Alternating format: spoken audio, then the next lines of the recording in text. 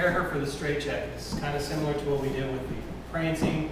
With the skaters, you do a basic of quick, quick, slow, prep her right, turn, two, three, and on my slow, my thumb is like right here in the small of her back.